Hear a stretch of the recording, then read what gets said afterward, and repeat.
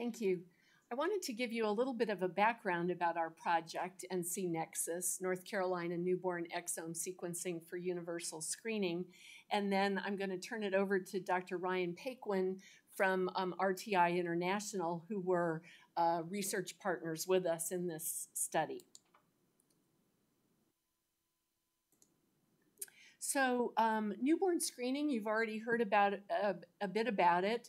Um, we think of traditional newborn screening as the test that's done um, where they come in and uh, prick the heel of a newborn and, and put several spots of blood on a, on a piece of paper that's sent to the newborn screening lab.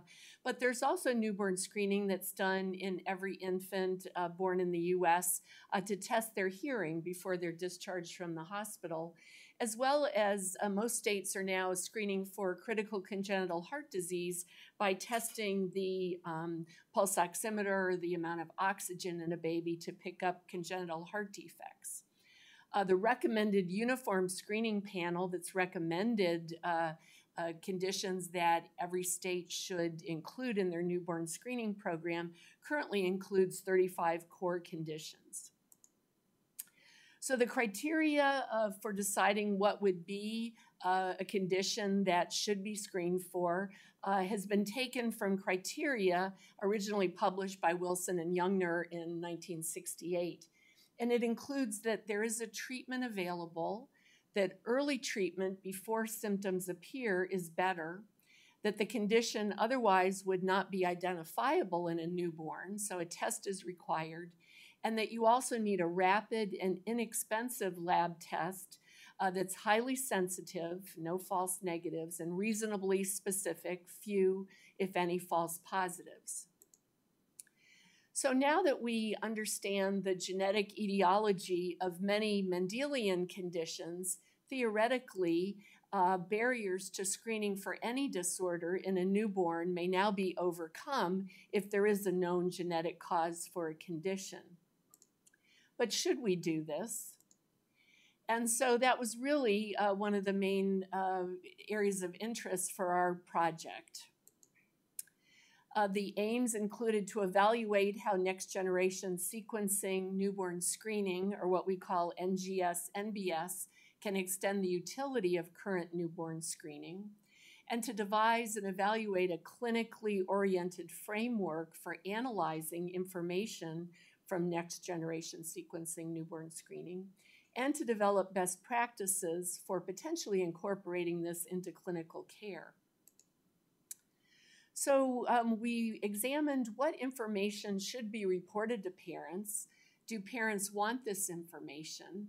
How do parents decide if they want this information? Do they agree with each other or not if they're a couple? And for our study, we utilized uh, cheek swabs or saliva samples from newborns uh, instead of the dried blood spot.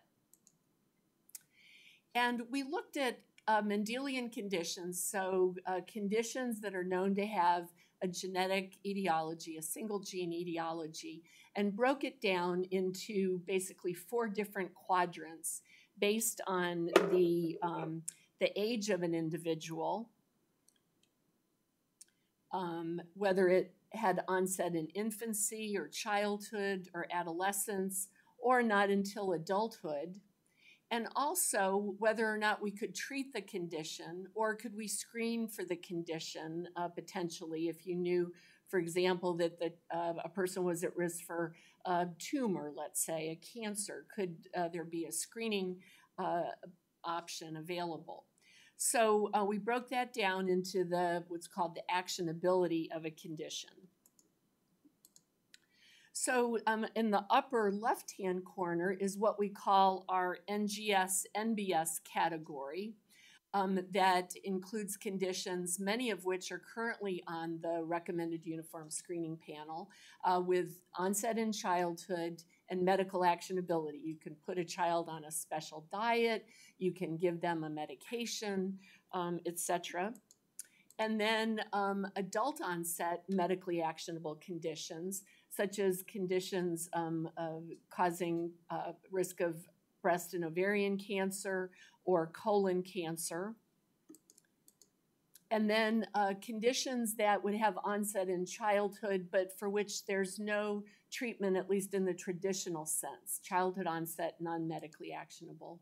And finally, um, the fourth quadrant conditions with adult onset and non medical actionability, for example, early onset Alzheimer's disease.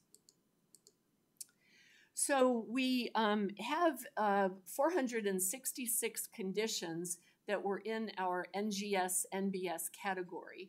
And these were uh, analyzed and uh, returned um, if there were any uh, pathogenic or likely pathogenic variants in any of these uh, genes um, returned to all families whose children um, were in the study.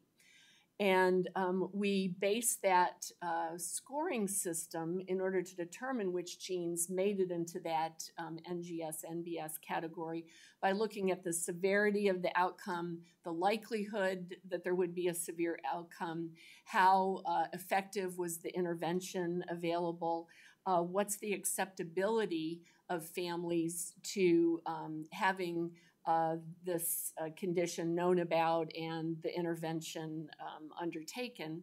And then what's the knowledge base for conditions? There's many conditions there where there may be just one um, publication uh, so that there's a little evidence that really this gene is associated with the condition. And then we had two different uh, cohort groups. Uh, we had one group uh, whose parents were ascertained and recruited during their pregnancy, normal pregnancy. And then we had another whose children were diagnosed through traditional newborn screening and had uh, metabolic conditions um, or hearing loss. All uh, families of children in the diagnosed uh, cohort received diagnostic results related to the underlying condition. And then, as I said, everyone got back any findings in this NGS category. And then two thirds of the families were randomized um, into a group we called the decision group, and they were able to receive additional information in other categories if they were interested. And those would include childhood onset, non medically actionable conditions, adult onset, medically actionable, and then carrier status. Um, the category of adult onset non medically actionable conditions were not reported to any participants. That was not an option. So now I'm going to turn it over to Ryan, and uh, he will